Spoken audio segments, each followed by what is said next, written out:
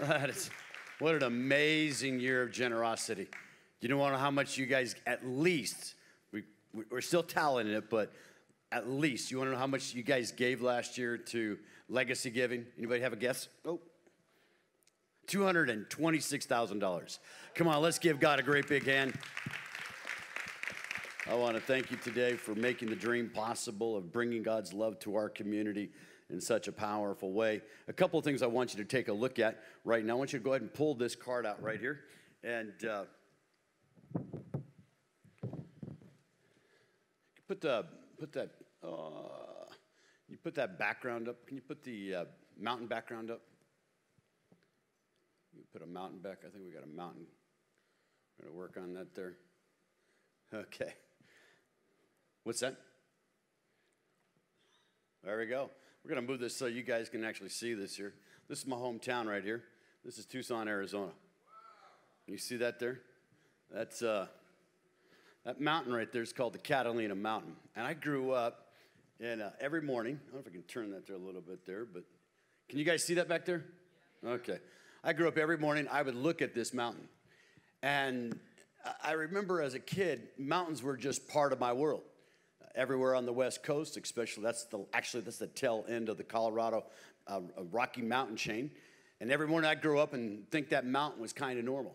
And if you grew up in a mountain area, you know mountains are rugged. You know, trying to hike that mountain, it would kill you to try to hike up that thing. But but I actually had a God moment on that mountain. My life actually was uh, uh my moment with Christ, and I came to Christ.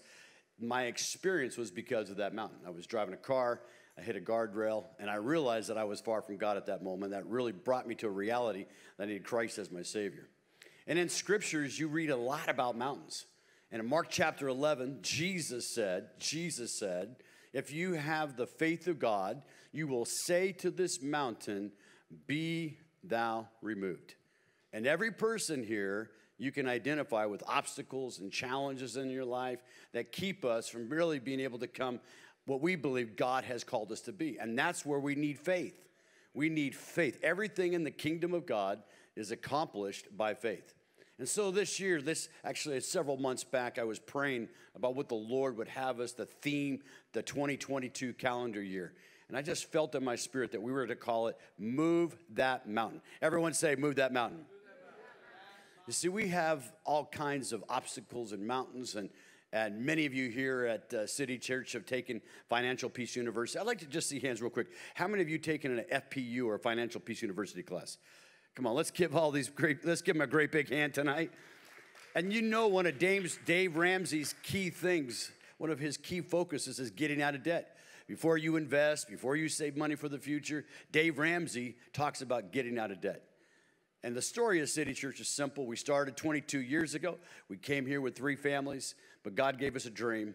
And over the years, we've watched God bless. We saw his favor through all the challenges, through all the mountains that we believed God to help us move. We ended up in this property in 2015. 2015, uh, we borrowed about $2.75 million to purchase this campus. And, and I was telling Pastor Rich just a little while ago, I said, the day that we signed on this contract, the very next day, we had a charter school coming for the seven acres over here where we just removed the farmhouse. We had a charter school offer us $4 million, which is $1.25 million more than we'd pay for the whole campus. And I told the guys, I said, man, that's a big number, but it ain't big enough because God's got a bigger dream. Come on, God's got a bigger dream for us.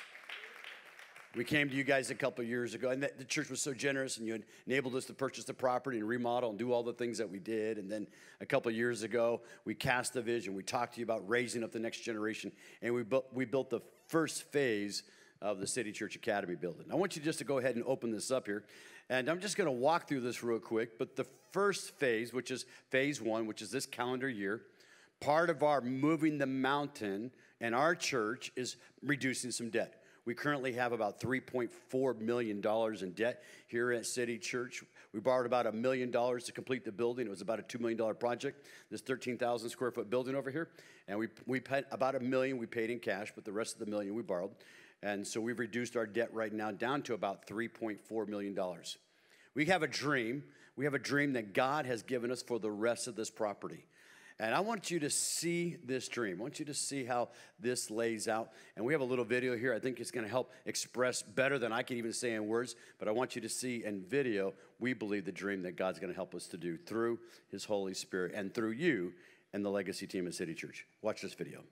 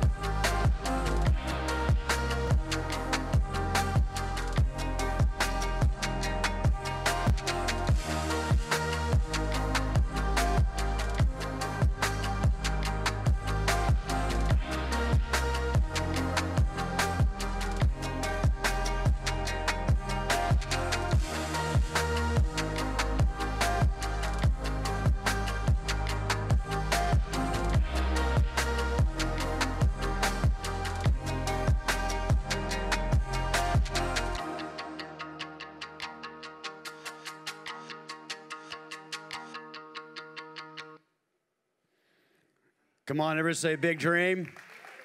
But we have a big God, amen? We walked through the four phases, and the first phase was to reduce our debt by at least a million dollars. Now, we'd like to pay all the, all the debt off the next year, but we're believing by faith the Lord's going to enable us to uh, pay off at least a million dollars in debt in this next year. The second phase is our school, it's our gym, it's cafeteria, it's a multi purpose area for our kids' ministry in our church, and a gym. And I think you saw in there, there's 16 uh, classrooms. There's a beautiful gym. It's about 15,000 feet. And all this, we believe that God's going to help us to do, not just to build City Church Academy, which is a huge part of the vision here.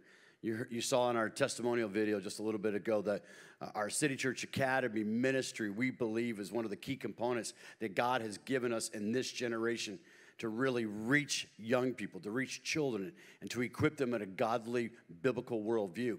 And our school currently is licensed for 500 students. This building over here that we just built uh, will uh, house about 200 kids, about 180 kids. And so, for us to really fulfill the, the, the, the plan and the vision that God has for us on this campus, we're going to need more facilities. And so, that's the second phase. The third phase is that we're going to expand the lobby here. You guys, right now, we're meeting inside the auditorium, and uh, we're grateful that we can do that. But we really believe that by pushing that lobby out and building an expansion, it gives us a, a cafe and a bookstore. We'll have a, a larger space. And so, rather than having dinners like inside the auditorium, we'll be able to have our functions out there in the lobby. And the last phase, our offices. This is going to be about a 10 to 12 million dollar project, and we're believing over the next seven to 10 years by faith. And as I tell people, the vision is accomplished as fast as the money comes. And tonight, I believe, I believe that you are here tonight because God has spoken to your heart, and you believe in legacy. Uh, someone once said that you will leave a legacy. You're going to leave a legacy in your life. It's just what kind of legacy you're going to live, leave.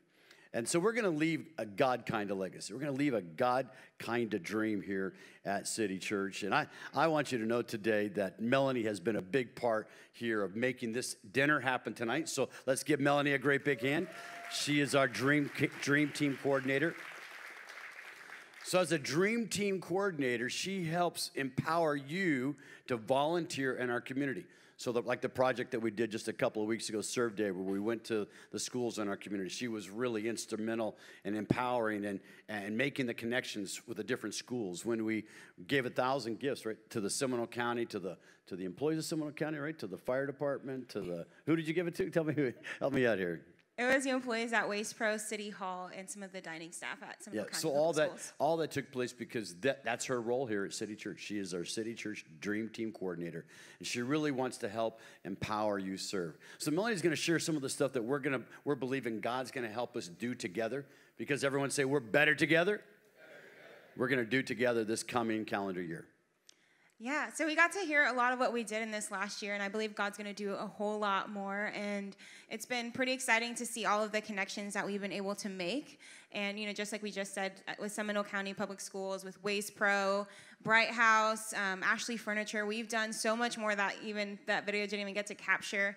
But um, I want to share just a little bit what we're going to continue to do. So we're going to continue doing serve days. I know a lot of you guys were part of that in this last year, and I want to say thank you because we couldn't have done that without you. And so we're going to do um, six or more serve days next year. We're going to continue Operation Blessing, where we give out Thanksgiving food bags to families in need, and that's just coming up in the next few weeks.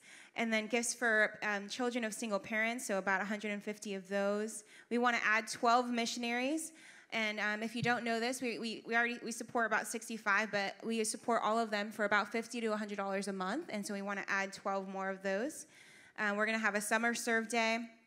And then we want to do two to three um, either local and foreign mission trips next year. So um, we will give more information as, as I think one of them working on is doing a medical medical yes. mission trip mm-hmm. as well as doing uh, evangelism as mm-hmm. well as mm-hmm. possibly building uh, possibly building uh, a church or two in Africa. Mm-hmm. Uh, and I want to talk about that real quick. Um, over the last several years, God's opened the door for us to and partner with work with other ministries. Several years back, we, as a congregation, we were able to build a well in Africa, and uh, we in our in our fellowship, we work with different groups that do different kinds of outreaches and missions projects around the world, and uh, they build what they call tabernacles. And each tabernacle is basically a place that there's a group of Christians. Uh, they're worshiping Jesus, but they don't have a building. And a lot of times they just meet outside. And uh, we have, the, we have the, the, the potential next year to build at least three tabernacles. They cost about $13,000. And I was talking to the missionary about it. He said, the moment we build one of these tabernacles, and basically they're just, uh, there's some poles with the steel structure with a roof on top of it. He said, the moment that we build that tabernacle, they'll have 200 people worshiping Jesus there every single Sunday. Come on, let's give God a big hand. I mean, for 12,000 bucks. We can't even change an air conditioner here for 12,000 bucks. And they can build a place that will gather people to worship Jesus and share the message of the gospel and to disciple and to train people. And so it's really stirred my heart. And I felt like this coming year, that's a great opportunity. And then one of the things that they do many times when they go into community, not only do they build a tabernacle, but they'll put a, a well where the people are able to get fresh water. And I tell you what, Jesus said he was the water of life and whoever drink of him would never thirst again. When you put a well and a tabernacle together, how many know you got a recipe for revival? Come on. You got a recipe for God to do something great in that community. And so we're going to partner with our fellowship and missions organizations to make that possible next year. Now, the last area here is our next generation, and uh, this is our, our children. These are our, our, youth and our kids. Our kids building next door. We'd like to do some renovations and some upgrades. That's around fifty thousand dollars every every summer at, uh, at, at camp time.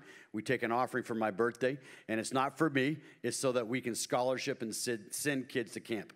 And Pastor Joe, how many kids did you guys send to camp? About 140 last year. What's that?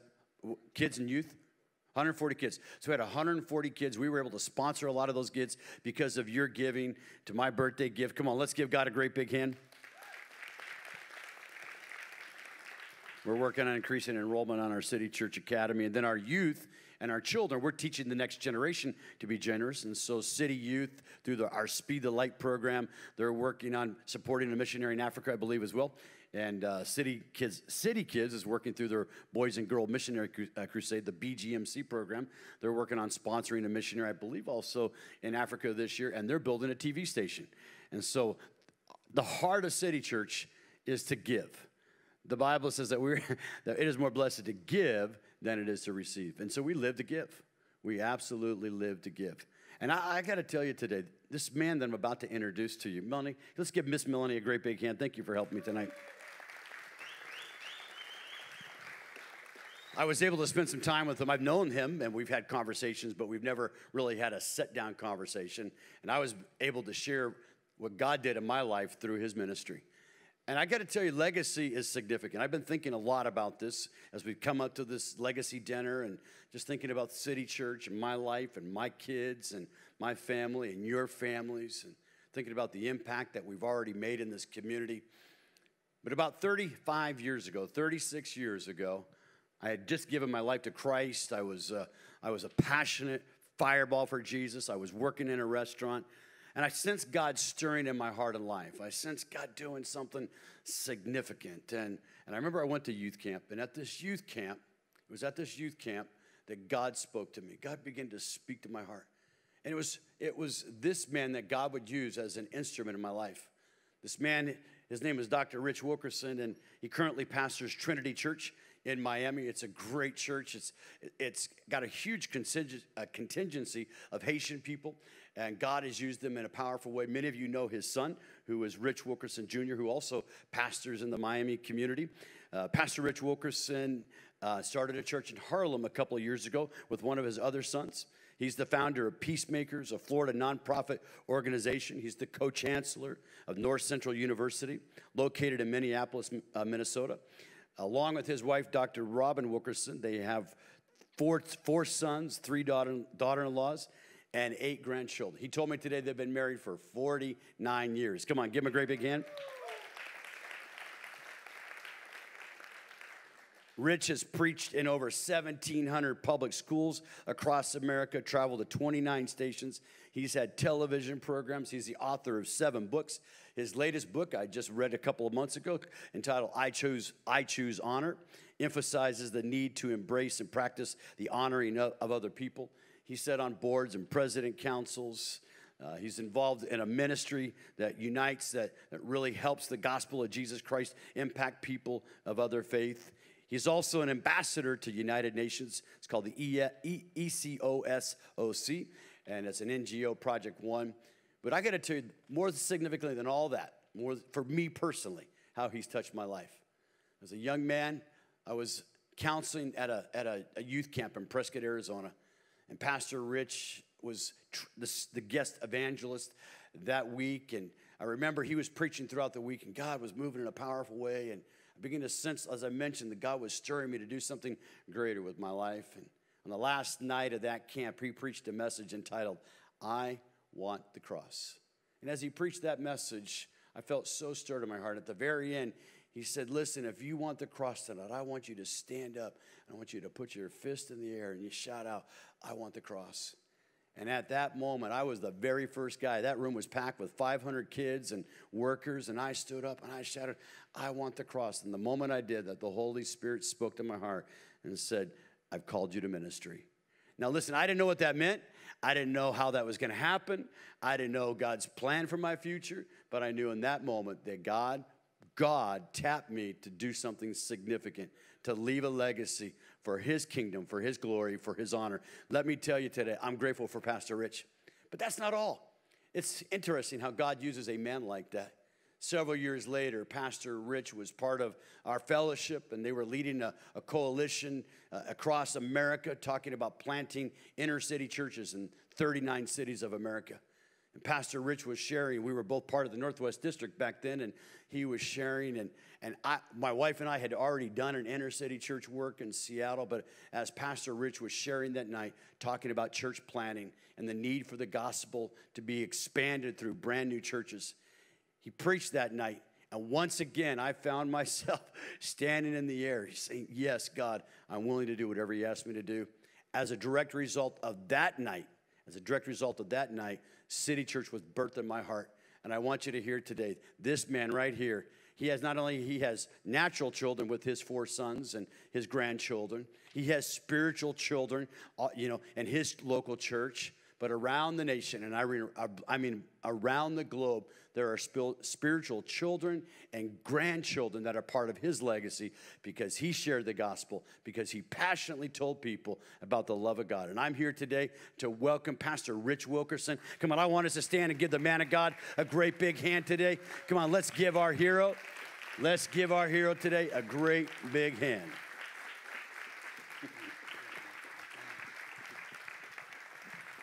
Wow, we. You may be seated, everybody. Thank you so much, Pastor Eugene. Wow, you know, do you know that I just heard that story this afternoon in the car? I didn't even know that. And I was just sitting in the car like, my God in heaven, are you serious? And uh, you know, I think I think it's a good witness that you don't become weary in well doing. Because some of the things that you feel weren't as victorious as you wanted them to be. Years later, you're learning a lot of things happened that you had no clue of. You weren't able to take record of it and then take credit for it. And that's probably the way God wants it anyway.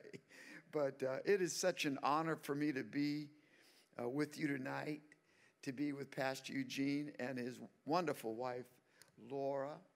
Uh, and uh, Pastor Glenn uh, Wolf, I did uh, my master's program in his cohort uh, at Southeastern. So we were classmates together. He's much smarter than me, but I talk a lot, and so I talk my way through stuff I don't understand. And uh, Glenn knows that, so I, I, think I was able to. Anyway, um, wow.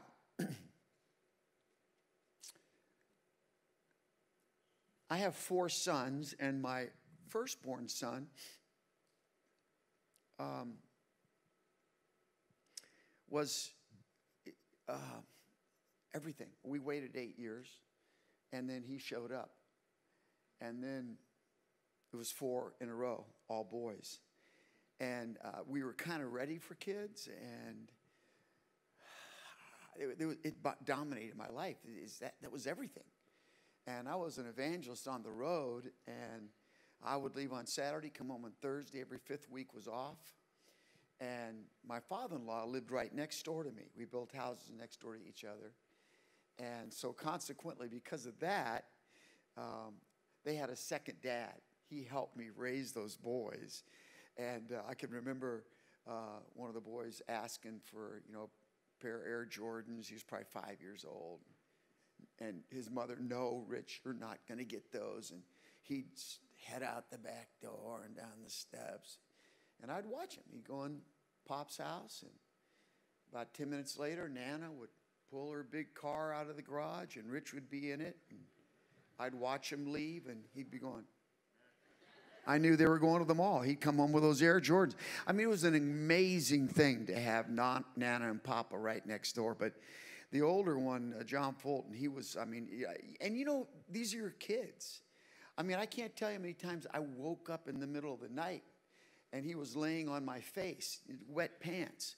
You know, I he just, he would get out of bed and come get in bed with us, and I'd be smothering, and I'd wake, there, God in heaven, he's sound asleep. You know, I'd pull him up and change him, throw him back in his bed, he'd be back. And, you know, that, they, they kind of have a way of endearing their heart to you. You know what I'm saying?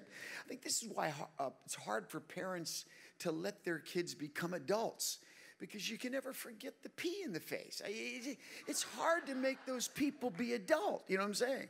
I'll never forget uh, Rich, my second son. My oldest son is John Fulton. But Richie, when Richie, uh, a little kid, he couldn't say his S's. Uh, uh he, he, could. they were F's. Like fee fed fud up. You know, in our house, it was a sin to say shut up. You couldn't say that.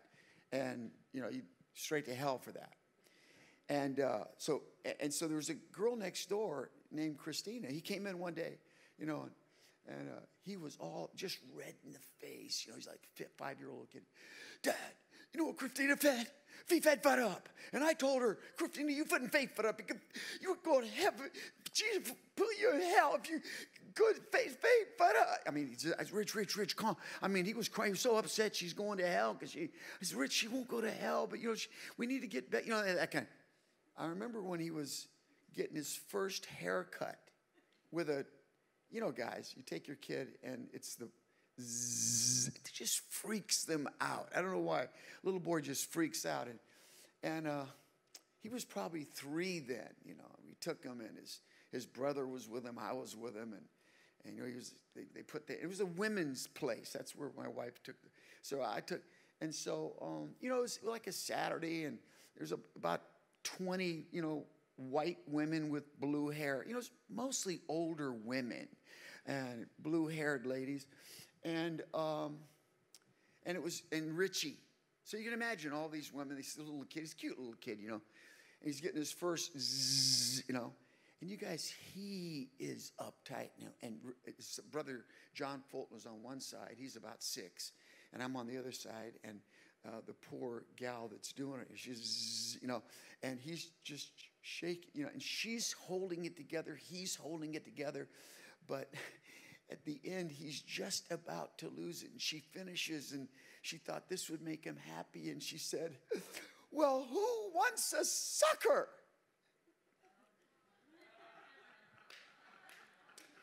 Richie. I want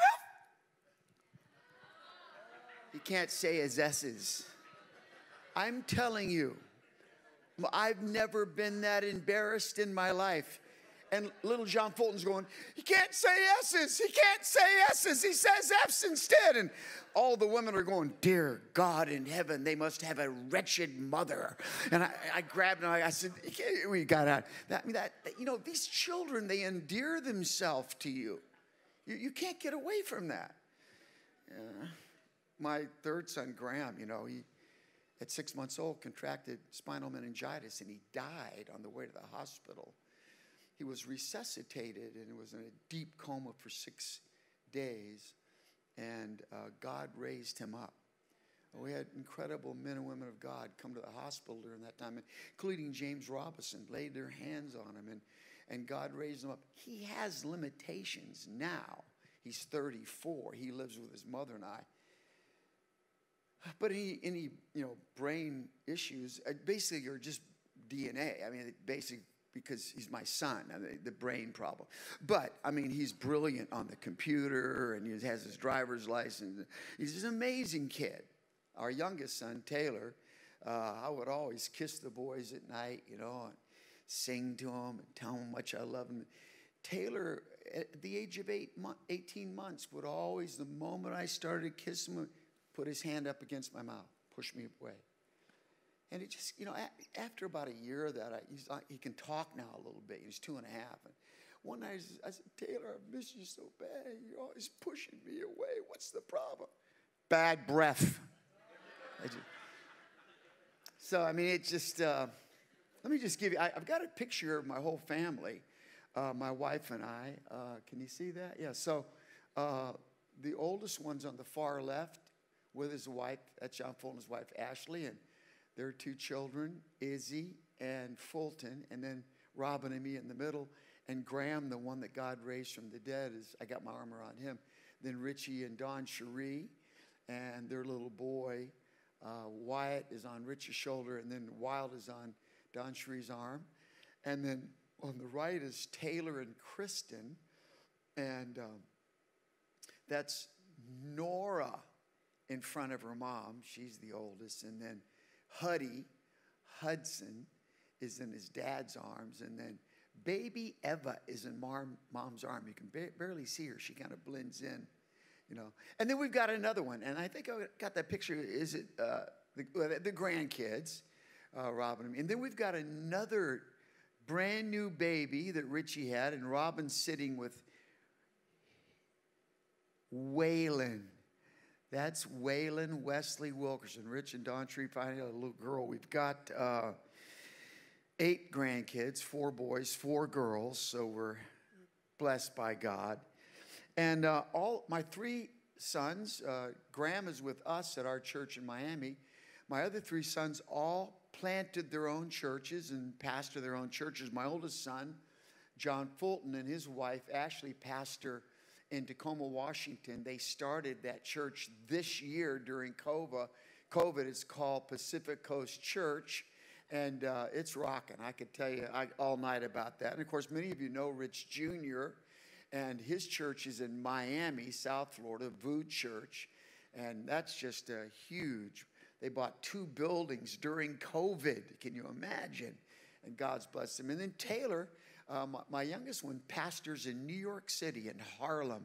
He pastors the Trinity New York Church, and they meet at the Magic Johnson AMC theaters in Harlem. And so we're a blessed family. And um, I'm so excited because if I think about tonight, I'm thinking that, that God's mission is this Matthew 16, 18. And I tell you that you are Peter, and on this rock, Jesus said, I will build my church, and the gates of Hades will not overcome it. That is the mission of God to build the work of God, the mission of Christ, to build the church around the world. And no matter what comes, no matter if there's COVID, there's a pandemic worldwide, I will build my church. And when God wills something, how many know it's going to happen? And then, along with God's mission, is God's promise to you and me, which is found in Proverbs chapter 22 and verse 6. Start children off on the way they should go, and even when they are old, they will not turn from it. That was my promise as a young man. My first child, I was 28 years old when John Fulton was born. God said, You just get your hook so deep in that kid with the God's word and, and, and Christian education, and I'll make you a promise, son. That boy will come back. If he runs, he'll come back. And you know something? All four of those boys, by the grace of God, have come back to Christ and are doing things for the Lord. And I can only give God glory and my wife prays. Hallelujah. She raised them. Hallelujah. But now, tonight, I want to read a text to you. It's a little bit lengthy. You're all familiar with it, and I won't talk long about an hour. And um, it's found.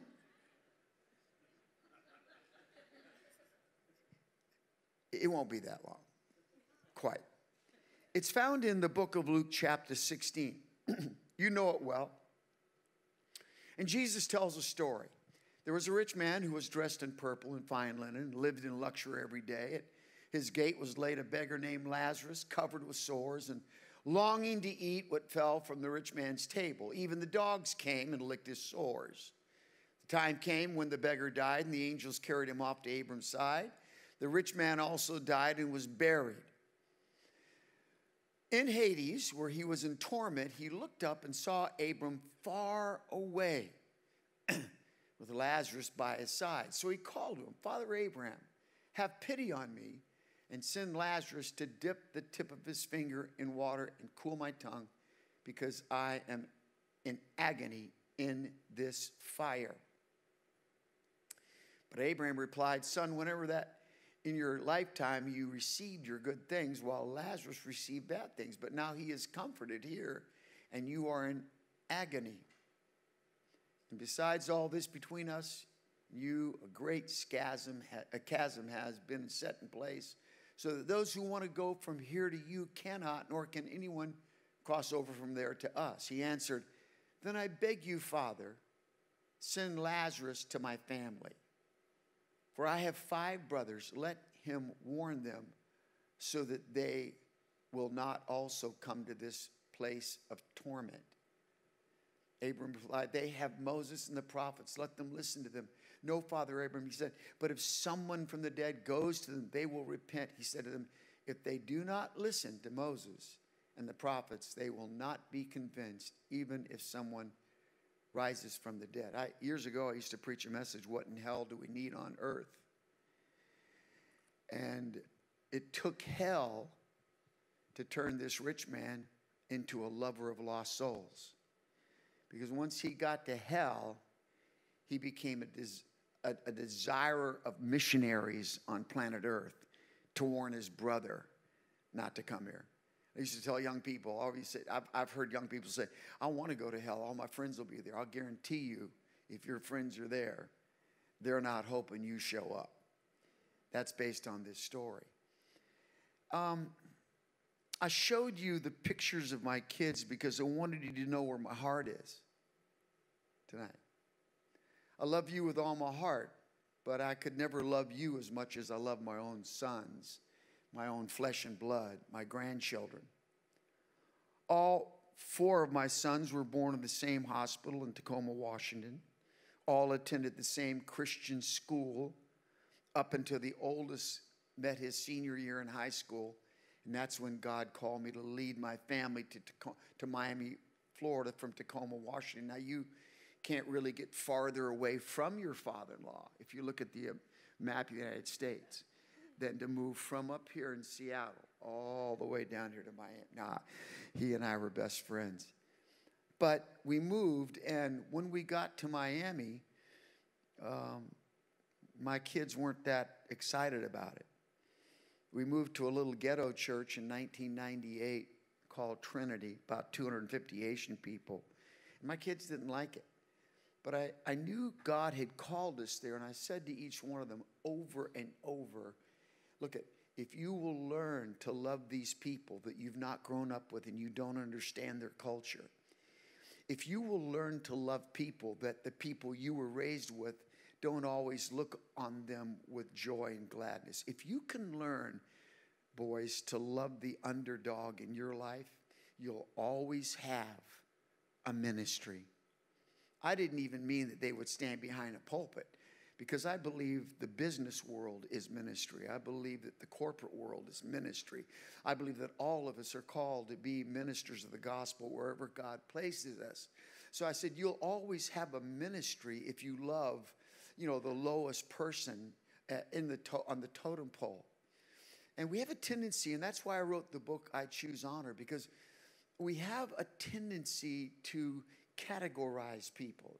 This person's really important. This person's not so important. But it was Jesus' desire to kiss upward and kiss downward, that nobody was unlovely in Jesus' eyes, because all of us are born with the Latin term that we use in seminary, the imago Dei. The, we are made in the image of God, Genesis 27, 1 verse 27. And I don't care where you come from, what religion you are, what color you are, what your culture is, you are made in the image of God.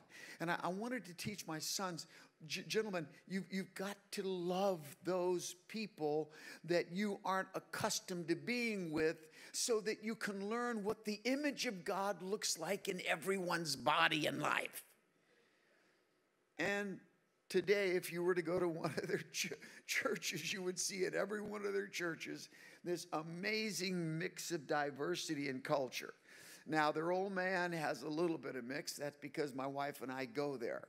But it's pretty much a black church. And then Taylor's church in Harlem is pretty much a black church. But then John Fulton and, and Rich have as many Spanish people as black people and they've even uh, John Fulton has some Korean people and some Polynesian people out, and to, it's a wonderful mix of diversity, and, and, and, the boys learn that at a young age. Um, I said to the boys, "You've got to get this in your heart." I used to tell them when they were little. Now, mom and I will have something accumulated when we die, and whatever we have will be split four ways between the four of you. And then I would say, that, how do you want to take your inheritance? It's up to you because we're keeping records. I mean, do you, do you, no, do you, do you want it in court costs? You know, lawyers' fees, uh, drug rehab, DUI fines? I mean, how do you want to receive your inheritance? Oh man, that scared them because they liked money. They didn't love it, they liked it. They saw what it could do. You know, Solomon said money's the answer to everything. And so they decided they would, uh, you know, try to keep it straight. And um, I said, I'm going to help you guys. I'm going to pay all of your Christian school education, all through high school. And then you guys keep loving God, stay straight. Then we'll pay all of your college education, university. And of course, we had certain schools they could choose from. All right, I'm not going to pay you to go to hell, okay? So uh, I, I'm, I'm not going to pay to go somewhere that's going to screw and jack your life up, all right? So, you know, anyway, it, it worked out. Um, but to try to help you, that's what I'm going to do for you as your father. And, and, and, and you will graduate debt free. I didn't, but you will. Your mother didn't, but you will. By the grace of God, you have seen the result tonight. I don't, I don't boast in this. I attribute that to their great Christian education. But now I've got grandkids. I didn't think I'd be concerned. Oh my goodness, I'm concerned about it. Wyatt, Wyatt and Wild and, and Waylon, W names. Moms from the South. Uh, I, am just saying, uh, I, these, these grandkids have got me, I, I, it's, it's driving me crazy. And, and here's what I'm hearing I'm 69, and here's what I'm hearing. Are any of you old guys out there hearing what I'm hearing? Uh, they're going to be taught the critical race theory in public education? Really? So, in order for you to be even, we'll have to step on another group. Haven't we stepped on groups long enough? Can't we elevate education so that everyone's blessed and we don't have to step on someone to lift someone else up? When we went to Trinity 23 years ago, I said to our people, we'll have two goals.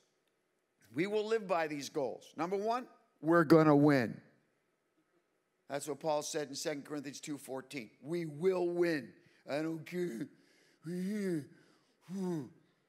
I have been able to make the greatest losses look like the biggest wins for 23. I'm, I, I am hooked on winning. And secondly, we go one, we go all.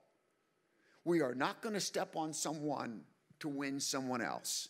We're going to, if we have to, we'll drag you along with us to get somebody else saved. We go one, we go all. And, th- th- then I'm hearing this. Uh, uh, some schools, and I've come across them, are, are now have shared bathrooms. The boys and the girls, are you serious? Uh, and it's not, not, certainly not all, not crazy, but it's happening slowly. And what's what what what one generation condones, the next generation will openly practice. It's coming, and, and the schools are now refusing, in some cases, to call the gender of a child and my eight little grandkids are going to face this. Are you kidding me? I'm telling you, I'm right up there.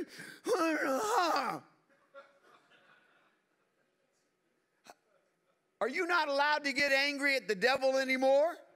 Huh? Here's what Jesus has taught us, me personally, in the last three weeks.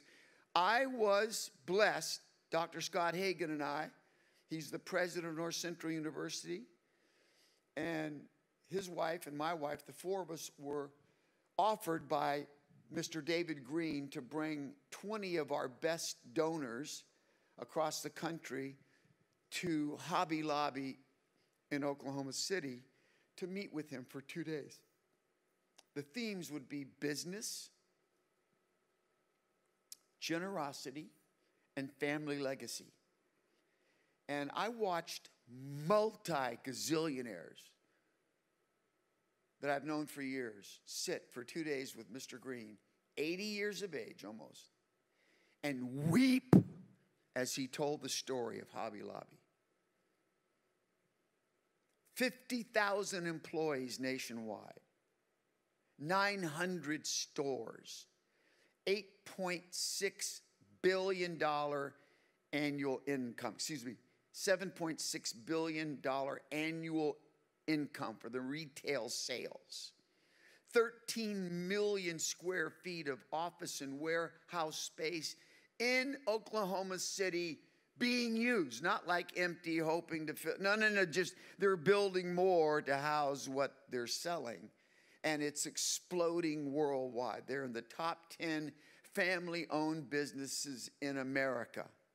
And he said, I had two struggles in my life. One was in 1985 when we were going bankrupt, and I laid under my desk. He's in Assemblies of God, Holy Ghost, crazy man for Jesus.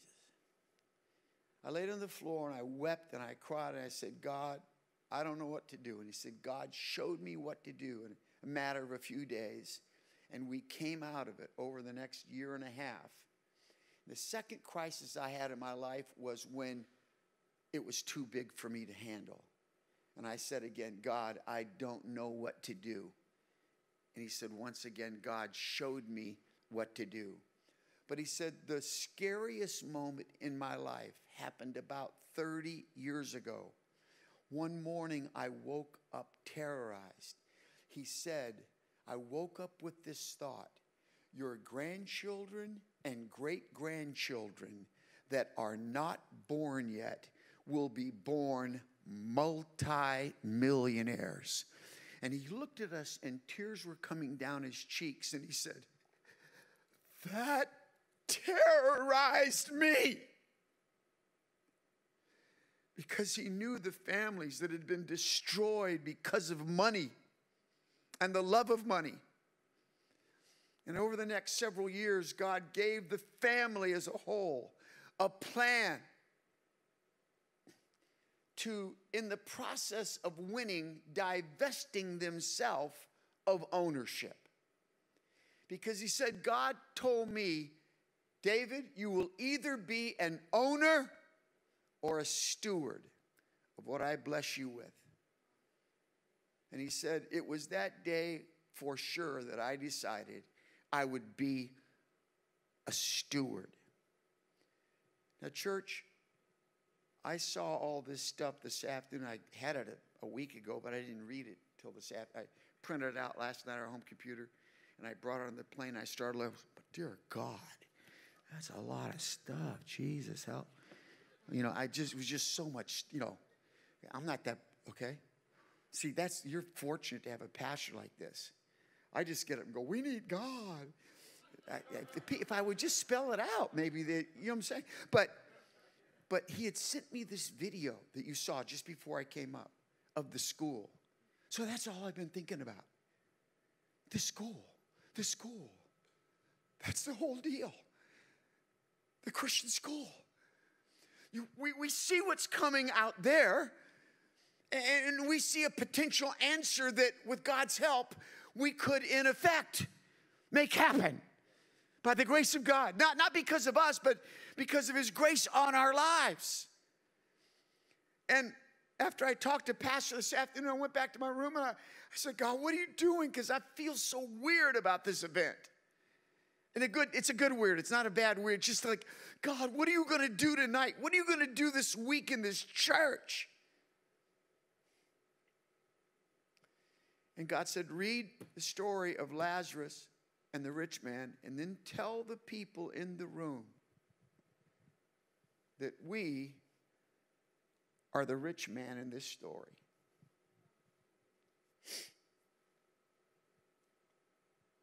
This is a weird metaphor, I get it.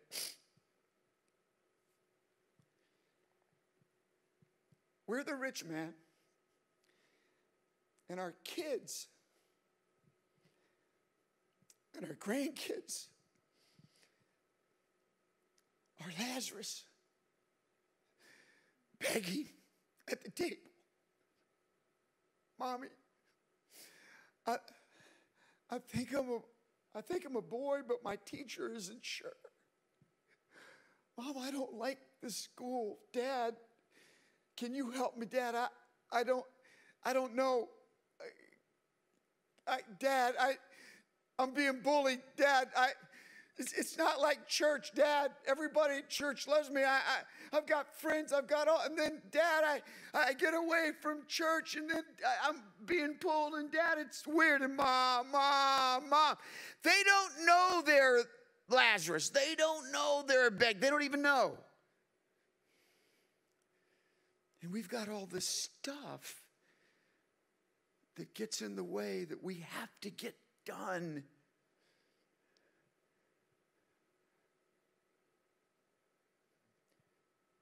But if we don't do this now, if we don't step in and save them now when they're little ones, if we don't do something now, it took us 22 years to get to this point where we've got 140 kids K through 5 and that's phenomenal. But where does God want to take us? What does God want to do through this body? What He has begun, He wants to explode if we're willing to get naked financially. Say, Dear God, I don't have it, but I'll find it.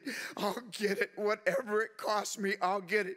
You know, I know I've got my friend Stephen Strang here, and I've even think, Pastor, remember the 100 years ago, the TV commercial for Fram Oil? Remember that?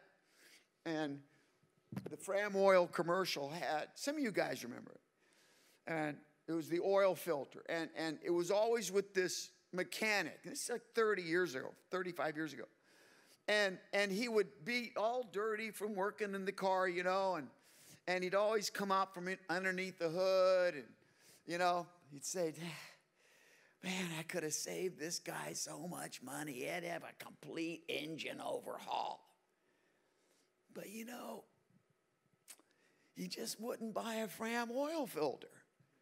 Two bucks, three bucks at that time. Just thought it was too much money. No, he never got an oil change, never got a Fram oil filter. So now I just had to do a $650 engine overhaul. So then you look in the camera. So, you can pay me now, or you can pay me later. And some of us think this is going to be too much of a reach into our pockets to build this next phase of this school. But I almost see it like you can pay it now and see them grounded in their faith. Get your hooks into them so deep that when the enemy comes at them, like that they won't be able to run because the hooks are deep. Or you can hold back. And then all the lawyer's fees, drug rehab. Uh, uh, uh, My wife worked for 10 years as her father's women's director at one of the largest churches in America, Life Center, 5,000 people when mega churches really weren't that well known.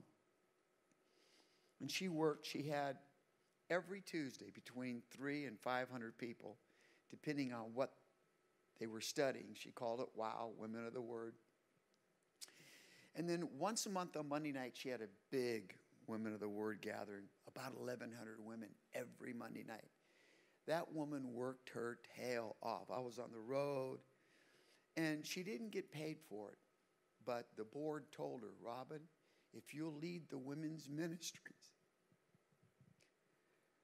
we'll put your four boys through Life Christian School, and that will be your pay.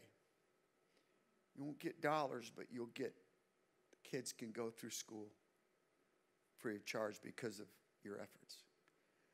And she took that to the bank. And those boys today were in so deep that God kept his promise to us. And now they're all on board with God's mission of I will build my church and the gates of hell shall not prevail against it. I love you so much tonight, church. I'm on your side. I want to see it win. And our wonderful ghetto church in Miami, Trinity, is going to give, and I've already got it filled out, $2,500 to get this year's event started because we believe in what you're doing at City Church.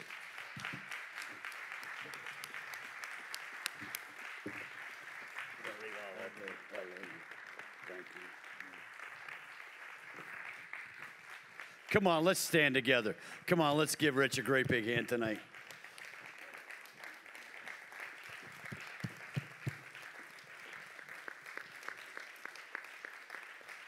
I didn't know Rich was going to talk about the Christian education component of it, but I want to. You can go. You can be seated. But City Church Academy is a big component of the ministry that we do here. We talked about the three lanes of generosity. We talked about the project lane. This year, our project, before we start to build, we need to reduce debt. So we're going to challenge you tonight to give towards that lane. We talked about the missions, all the outreaches, all the missionaries that we support, our monthly commitments, but the outreaches that we do in our community and know, the next generation.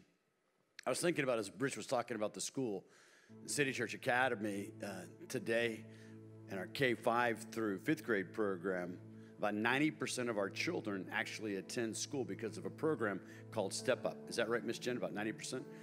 And basically, the kids don't pay. They don't personally pay because there's a state funded scholarship called Step Up. It's not actually money through the state because that would be illegal. But uh, there's a scholarship program. It's a tax it's a tax exempt program for large businesses, and they give their monies. And then Step Up is a program that enables kids who qualify, and basically anybody that uh, I believe the program is uh, if that you can receive food stamps. I think that's kind of basically the, the, the how the program works. And so today, 90% of the kids in the City Church Academy attend attend a Christian school because there's a scholarship program. And I began to think about that. I began to think about that was Jeb Bush's program. Jeb Bush, the governor, way back in the day, had a heart to see children who would never have the opportunity to go to private school, go to private school in our communities. And City Church has been placed in, in such a time as this, for such a time as this, you can come any day. You can see. Now, you're not allowed to walk to the school on your own, but you can see the diversity of our school. You can hear the kids in their, in their, in their classes and their learning and the arithmetic and the mathematics. And then you watch them when they come in here in chapel and they just, they're lifting their hands at Jesus and they're worshiping. These are families in the community, many of them that don't know Christ. But when their kids get in here, come on, when their kids get in this school, they get the gospel of Jesus Christ. I hear them reading their Bibles and worshiping Jesus. And that's how generations are changed. Come on, that's how generations are changed. That's how lives are changed for eternity. And this is a big deal. Rich, thank you tonight. Thank you tonight for sharing that. And he, he, he was sharing with his kids. They went to private schools, and he really believes that, along with their Christian education, really enable them to have the foundation. And we want to build a foundation for lifelong learning, spiritually and naturally. Our motto at City Church is to raise champions and scholars for Christ. That's our motto. Now, the gym and all the stuff we talked about, that's multi purpose. It isn't just for the school. I mean, that church is going to be using it. Pastor Glenn's got strategies and plans, and we're going to open that gym up to the community. We're looking to put a soccer field out here and do a bunch of stuff like that so that we can be have a greater impact here in our local community as a church. But City Church Academy, combined with City Church, working together to bring the mission of Christ to our community is possible because of this legacy team. This legacy team. When I, uh, I'm going to take one of these brochures here. Let's see, one of these that one right here. I went through the dream and I was looking at that and thinking about the things that we had talked about and all the blessings and the favor, all the challenges, just getting this building, the complexities of it. My wife and I, we've led the way. We gave the very first dollar. We gave the very first $10. We gave the very first $100. We gave the very first $1,000. We gave the very first $10,000. We sold everything we had. Just like Rich, he moved, he was in Tacoma. I was a little farther up the road in Seattle. But we moved from Seattle to Central Florida. Not a promise, not a paycheck, not a congregation, not a building, but a dream. A dream that God wanted us to touch a generation. And I have lived my whole life with this one principle I'm not going to take anything with me. I'm telling you, I'm not taking anything with me. And all along the way, every when we bought this building, we committed the first fifty thousand dollars. That's a lot of money. That's my retirement money. We committed the first fifty thousand dollars to purchase this building. When we built the building over here, we committed the first twenty-five. We're, we've led the way all along the way. Now, listen, that's a lot of money for me. That's a that's a big commitment for us. We've lived frugal. We're not high rolling paid pastors. We've lived very frugal. We've been very. I told you many, many times. And my Jewish grandmother taught me how to turn a nickel over many, many times. But we've been frugal and we've been faithful. We've been diligent in our investment over the years. And God's blessed us, and we're grateful for that. And I talked to Laura uh, a couple of months ago. You guys know this housing market's going crazy. We had a, a piece of property up in Deltona, and uh, we had a mortgage on our home, had owed about $180,000 on our home. I said, Lord, I said, if we sell that home in Deltona, I said, we'll be able to pay our mortgage off. And then you know what we can do? We, we, not take bigger vacations, not go out and buy a new car. You know what we can do? We can give more money to the kingdom of God. Because, see, it's never about raising my standard of living, it's always about raising my standard of giving. Come on, amen? And so we we said, you know, we're going to lead the way. We want to pay the debt off of City Church. We're going to lead the way. We're going to pay our own debt off. So we sold that property we paid off our house. And three months ago, I got a no debt. Come on, no debt. I got Dave Ramsey ring the bell. We got our house paid. We got our vehicles paid. We have no debt. And I said, Lord, you know what we got to do? We got to lead the way. We're going to move the mountain this year. We're going to pay off debt. So we're going to lead the way in generosity. Now, we don't just have you know, paying off debt. We do missions and we do our next generation. So, so what, we talked about it. We said, why don't we do this? Why don't we take, why don't we take what God's put in our heart? Why don't we give 75% this year to move the mountain, 25% to our missions? Then we're going to give offerings above that when we have our next generation projects. So, so Lord, what do you think we should give? And it was, it's funny, when God's speaking to us both at the same time, we had a little bit of monies left over after we sold the house. We sold the house for like after all the proceeds and everything, we had about $50,000. I said, Lord, I said, why don't we take $25,000 and why don't we put that 25,000, sow it into the kingdom of God and lead the way, lead the way for the city church family to know that we're serious about seeing God's love come to this community, about seeing kids become champions and scholars for Christ. Some of you tonight are prepared to do this. Some of you need to go home and talk to your wives and talk to your spouses. and You need to pray about what God would have you to do. But I believe every single person here, you're not going to take anything with you. Uh, we showed the video last Sunday. Where's Miss Gina? Miss Gina for Boys and Girls Mission for the BGMC program. She had Luciana and Sebastian. They were out selling cookies. A seven-year-old and a four-year-old. Come on, selling cookies in their neighborhood. Little cookies that they had made, and cars stopping, holding a great big sign up.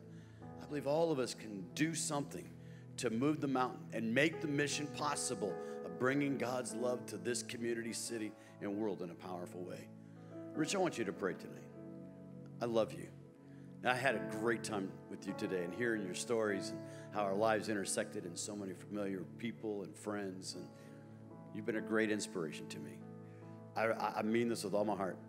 City Church, that answer that call, and in that district council, up in the Northwest, some, I don't remember what city it was in, when you preached and you challenged pastors to build churches, to plant churches. That changed my life. In City Church, we ought to be grateful today. If you got saved here, if you've been healed here, if your marriage has been restored here, if you've been educated, if you've been in a small group here, this guy gets some of the credit in heaven, man. Come on, you're going to get some of the credit in heaven. There's a little bit of seed that he sowed. And Rich, I love you. I want you to pray blessing tonight. Uh, I know some of you are worried we're getting a little late here. Where are you going to go? It's Friday night. You to go home and sit? Sit here. But, you know, I had this thing happen to me about a year ago. You know, my I was telling Steve, we, we've lived in the same home in Miami for 23 years, and it was falling apart. We live in, uh, it's just, it's this whole thing is a miracle how we got the house, but it's kind of an upscale neighborhood. And they said, you know, you need to either fix your house or sell it and move because, so um, it, it wasn't an easy deal, but we decided to redo the house. So we redid the house. And it was a, about a month after that. And I was coming into the kitchen had a cup of coffee Saturday morning, and my special needs son, Graham, was in the backyard in the pool with a, a group of guys from VOUS College, Richie's college kids. And he'd call them, tell them, come over. They come over, they're having a big time. And I'm looking over the pool, and there's the intercoastal. I'm drinking my coffee. And I, here, I had this thought. You've done pretty good. And the minute I said that, Holy Spirit spoke to me and said, You're just passing through. You fix this house up for somebody else to live in. Hey, guess what? You're just passing through Trinity Church, too. You got that thing rocking so somebody else can lead it soon. And I promise, under God, it's not a, an AG saying. I, I fell on my knees. And I started to weep, but I repented. And I said, God, anything I've ever had, you've given to me. It's all yours. The truth is tonight, we're just passing through. Let's leave as much for the next generation as we possibly can to ensure that they catch what we've had this Holy Ghost anointed message of Jesus saves, Jesus heals, Jesus is coming soon, He is the Savior. Lord, tonight, men and women have given up a Friday night to come back to the house of God. We've refitted it to eat and act like it's a restaurant, but this is the house of God. That, Lord, with their faith, they are building in this part of Orlando. And now, Lord, they have met again, this legacy team that always goes first. And Lord, they even know when they're coming what it's about, and they still come. I pray, God, you'd bless them for that. Then I pray that you would take these pledges and turn them into realities. And I also pray, Lord, that what is given would come back to them, pressed down, shaken together, and running over. That God, there would be a tenfold, a 30, 60, 100 fold return as they trust you. That God, there be more than enough that comes back so we can keep doing this to see the kingdom expand. Thank you for Pastor and Laura tonight. Keep your hand on them, keep them protected. Bless them, we pray, in Christ's name. Amen.